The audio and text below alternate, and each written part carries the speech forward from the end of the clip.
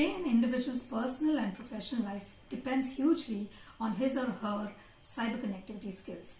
Hey there, I'm Poornima Kundapur, Associate Professor from the Department of Data Science and Computer Applications, MIT Manipal.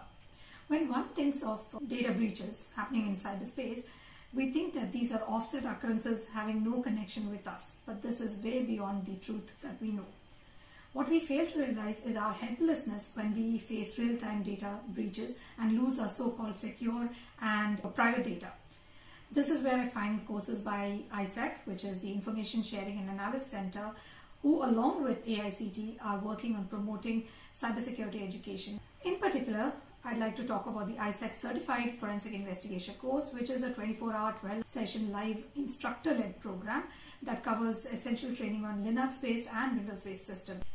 As learners, we benefit by gaining real-world forensic investigation skills with hands-on labs that are fully deployed on the cloud. Dr. Bhupendra Singh is our instructor and his practical and theoretical skills make this course relatable and very worthwhile.